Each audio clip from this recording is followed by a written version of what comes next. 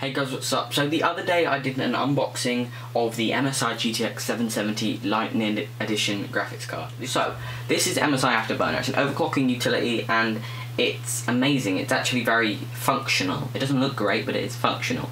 Um, so some an amazing user in the comments um, actually told me their configuration and then I PM'd him and he actually gave me a link to the fully unlocked version of MSI Afterburner. So I'll put the link to that in the description. Um, and I'll put a link to his channel in the in the description as well. He doesn't do technology videos, but credit where credit's due. It will be in the description. So this is the um, the MSI Afterburner unlocked utility. Like I said, link will be in the description. You want to hit settings after it's installed and unlock voltage control. This will allow you to um, up the voltage so the core stays stable. And I'm going to go three three modes here. I'm going to go one, you, what you should do um, two, what I do, and three, you could do, don't do. So um, the core voltage, we're going to go to plus 25. Um, power limit, we're going to go to plus 105 just because that's the max what it is on um, the original MSI Afterburner. That's just what it is. Uh, the core clock, we could probably go plus 50, and memory, we can probably go plus 200 and select apply. Leave fan speed on automatic because this will compensate if it being if it is too hot it will know it's too hot and slam the fans up and cool it down so it doesn't throttle. Um, we're then going to open up a stress test utility of your choice. Mine is MSI Kombustor because it's just easy um, and it gives the same um, results and it doesn't take very long to get kicked in and started. So we're going to select um, Direct 3D11 in the GPU burn-in and in settings we're going to turn on 8 times anti-aliasing and your screen resolution and once you've set the um, overclock settings make sure you've hit apply and start the GPU burn-in test. This will start a massive uh, tessellation test um, which is basically yeah this Kombustor test as you can see in the corner here, we have GPU load is at 100% basically. It doesn't go any higher. And sorry, the room's dark as well. I'm recording the screen, so everything looks really crap. Um, the GPU temp's at 56 degrees and it's climbing. Of course it is.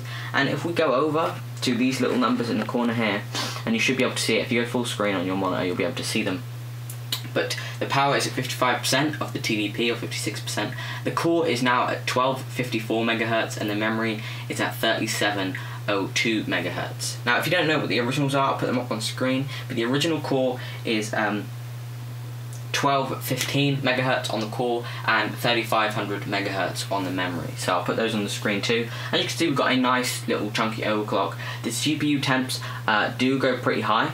So if you can see here, um, mine never used to go above 58-ish, and now they're hitting 63, 64 degrees, um, and they will keep rising. So you want to do this test for about 10 minutes, and just let it run through, and you'll probably get your maximum temperature.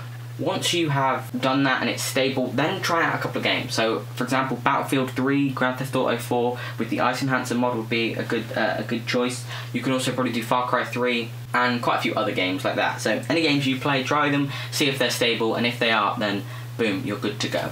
Now, I'm going to also now show you my uh, setup. So, I have plus 50 on the core voltage.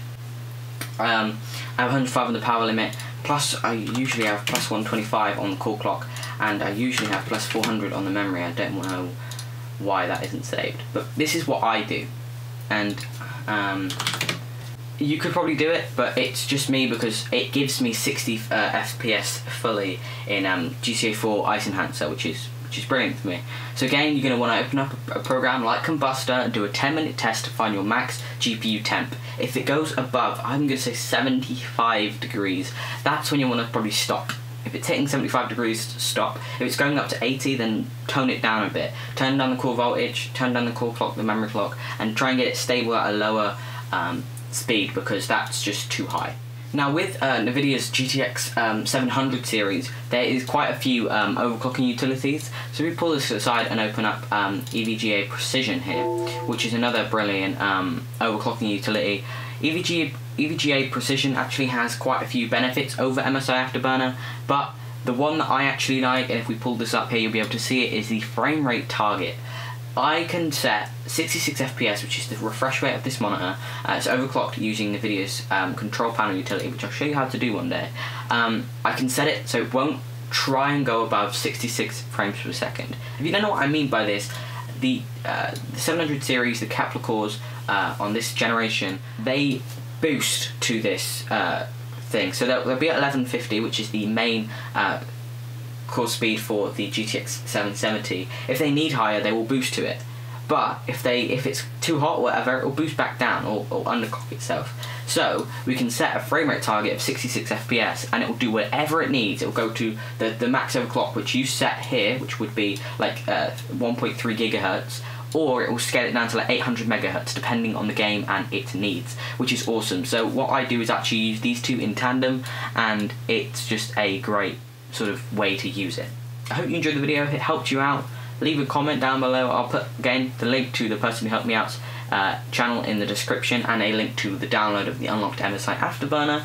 Uh, so thanks for watching. Please check out uh, a few of my other videos and my Lightning Edition GTX 770 unboxing, and I'll hopefully see you in the next one.